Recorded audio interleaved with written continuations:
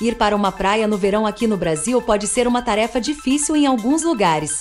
As praias costumam ficar lotadas e com pessoas passando e te jogando areia, transformando a experiência em um verdadeiro estresse. Mas será que existem praias desertas no Brasil com poucas ou até mesmo nenhuma pessoa por perto, para você conseguir relaxar? A boa notícia é que existe sim, e hoje te mostraremos algumas praias desertas no Brasil para você relaxar em meio à natureza. Então já deixa o like para ajudar em nosso trabalho e vamos conhecer esses paraísos perdidos pelo Brasil.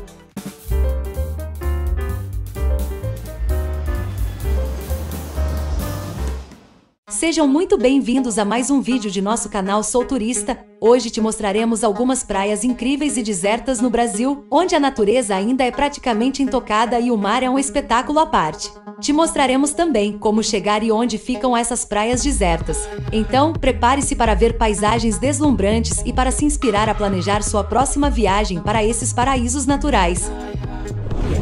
A Costa Verde do Rio de Janeiro é conhecida pelas belas praias de Angra dos Reis e pelas belas praias de Ilha Grande, até por isso. Muitos turistas não conhecem a Ilha da Jipoia, a segunda maior ilha da região e que abriga a belíssima Praia do Dentista. A praia é cercada pelo verde da mata, sendo banhada por um mar calmo e cristalino, além de ser totalmente deserta, sem quiosques ou vendedores ambulantes, sendo ideal para quem gosta de curtir uma praia sossegado. Para chegar na Praia do Dentista, você pode fazer um passeio de lancha lancha que percorre praias desertas localizadas em ilhas no entorno da famosa Ilha Grande. As praias de Carro Quebrado e do Morro, localizadas no município de Barra de Santo Antônio Alagoas, são duas praias típicas do Nordeste brasileiro, com águas cristalinas, falésias e coqueiros que convidam os turistas a relaxarem em suas sombras.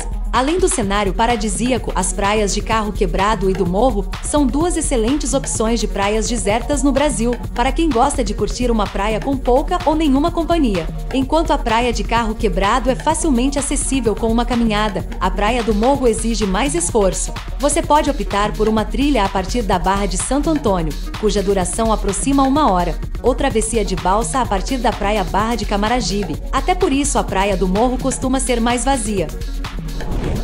Apesar de isolada, a Praia do Espelho é uma perfeita combinação entre o selvagem e o conveniente. O local costuma ser bem vazio, porém existem pousadas e restaurantes bem próximos à praia, a uma caminhada curta de distância, o que traz um certo conforto para quem quiser passar o dia por lá, o que não é nenhum sacrifício para quem gosta de praia deserta e relaxar em meio à natureza. Para chegar na Praia do Espelho não tem mistério, saindo de Porto Seguro o trajeto costuma levar duas horas de carro, e o caminho até lá é todo sinalizado. O único problema é que o último trajeto é feito em uma estrada de terra bem esburacada, sendo ideal fazer o trajeto com carros mais preparados para esse tipo de terreno. Mas na minha opinião, é um preço pequeno para chegar nesse verdadeiro paraíso. E você conhece ou gostaria de conhecer a Praia do Espelho? Deixe aqui nos comentários a sua opinião.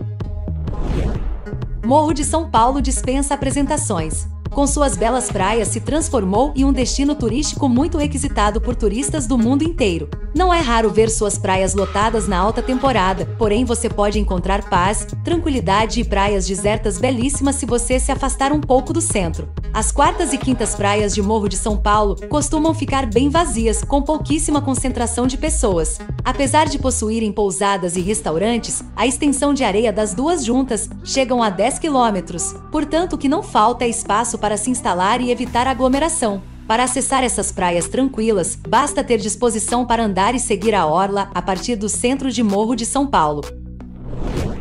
A Praia Lagoinha do Leste figura entre as mais bonitas praias desertas do sul do Brasil. Escondida em Florianópolis, Lagoinha do Leste é para quem gosta de aliar praia a uma boa atividade física, já que ela é uma das faixas de areia mais difíceis de serem visitadas na capital catarinense. A praia é linda, cercada por montanhas verdes e por uma pequena lagoa atrás da faixa de areia, sendo um refúgio excelente para quem busca isolamento em meio à natureza. Existem duas trilhas que levam à praia da Lagoinha do Leste. A primeira, com 4 km de extensão e visual mais bonito, parte da Praia do Matadeiro. A segunda trilha, com cerca de 2 km de extensão, é um pouco mais íngreme e parte da Praia de Pântano do Sul, onde você também pode optar por pegar um barco. O passeio até a praia leva em torno de 15 minutos. Conhecida por sua tranquilidade e beleza, a Praia do Sono em Paraty não poderia ter um nome mais sugestivo.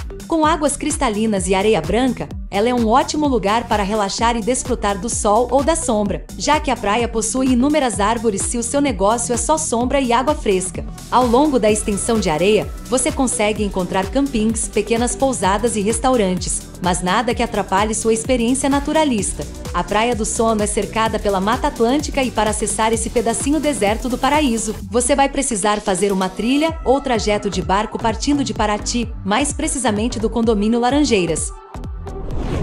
A Praia Brava do Cambori é um dos segredos mais bem guardados entre os frequentadores de Ubatuba. Mesmo em dias de grande movimento no litoral norte de São Paulo, será difícil encontrar a Brava do Cambori repleta de visitantes. O mais comum é ver por lá apenas alguns surfistas em busca de boas ondas e um clima tranquilo em meio à natureza. A faixa de areia longa, as boas árvores com sombra abundante e o visual espetacular ajudam a relaxar imediatamente, mas se você pensa em ficar o dia inteiro por lá, vá preparado. Não existe existem quiosques ou outras estruturas na Praia Brava de Cambori. Para chegar nessa praia deserta e secreta do litoral de São Paulo, não será fácil. A Praia Brava do Cambori está distante 44 quilômetros do centro de Ubatuba. O acesso é por trilha a partir de um bar à beira da estrada. Não há placas indicativas.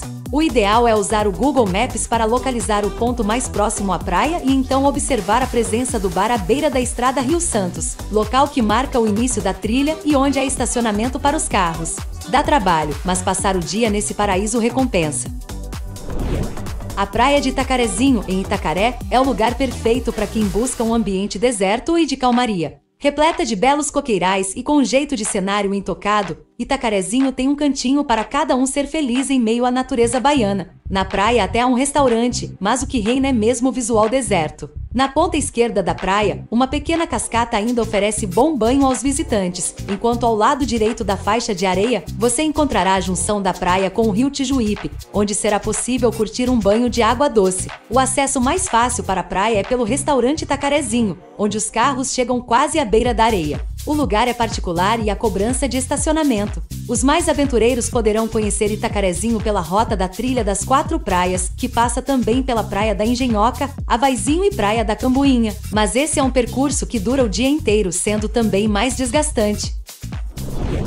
Nem só de praias oceânicas é feito o litoral brasileiro, sendo também possível encontrarmos praias desertas à beira-rio espetaculares. E um dos cantinhos mais espetaculares do Brasil nesse quesito é a região de Alter do Chão, no Pará, banhada principalmente pelo rio Tapajós. Em seus arredores é possível encontrar praias de areia clarinha e água doce na temperatura exata para relaxar. Apesar do rio Tapajós ser a grande estrela local, é no afluente do rio Arapiuns onde estão algumas das mais lindas praias desertas do Brasil. Para chegar às praias do rio Arapiuns, o meio mais fácil é pegar um passeio de lancha em Alter do Chão. O custo dos passeios varia entre 120 reais e 150 reais por pessoa, a depender da rota e número de turistas no grupo.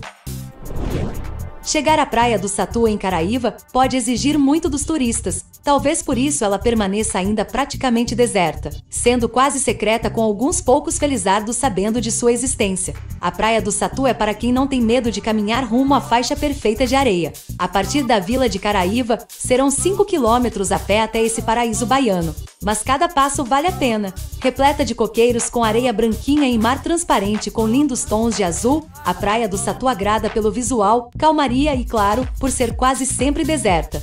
O litoral brasileiro é enorme e existem inúmeras praias desertas no Brasil que oferecem uma experiência única e encantadora para aqueles que buscam um lugar tranquilo, para relaxar. Outra experiência bem agradável é se inscrever em nosso canal. Toda semana trazemos vídeo interessante sobre turismo e dicas de viagens que podem te interessar, e se inscrevendo e ativando as notificações você não perde nenhuma novidade. Muito obrigada por assistir o vídeo até aqui e continue viajando com a gente escolhendo algum vídeo que aparecerá agora em sua tela.